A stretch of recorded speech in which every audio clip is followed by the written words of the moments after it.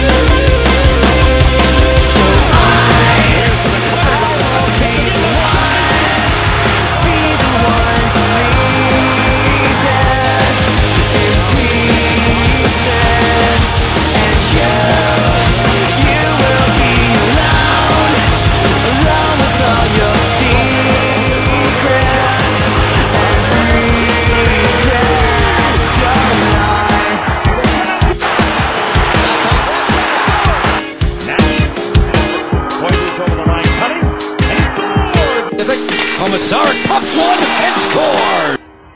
Et voilà d'un autre angle. Alors, trois points sur euh, quatre pour le Canadien en début de saison. Oui.